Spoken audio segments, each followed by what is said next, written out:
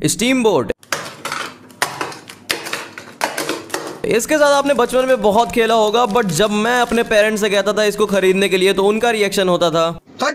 या मैं तो टूट गया। लेकिन अब मैं बड़ा हो चुका हूँ शायद। तो अब इसको चलाना मुझे बिल्कुल नहीं आता था तो मैंने काफ़ी सारी यूट्यूब पे वीडियोस देखी कि भाई कैसे ये स्टीम बोर्ड वर्क करता है। और मुझे यहाँ पर रिज़ल्ट मिला कि भाई यहाँ पर इसके साइलेंसर में आपको पानी डालना होता है उसके बाद यहाँ पर जो आपको कैंडल मिलता है उसको जला करके इसके मेटल वाले पार्ट के नीचे रखना होता है कुछ इस तरीके से। भाई हमारा जो स्टीम बोर्ड था वो लिटरली वर्क तो बहुत बढ़िया कर रहा था बट यहाँ पर जो आवाज़ थी उसकी वो बहुत ही ज़्यादा तेज थी और कुछ देर बाद भाई ये एकदम कानों में चुभने लगी। और उसी के साथ एक चीज़ और है जो बहुत ज़्यादा चुभती है। नहीं नहीं वो नहीं। जब आप सब्सक्राइब नहीं करते हो उसकी बात कर रहा हूँ। तो सब्सक्राइब कर दो यार।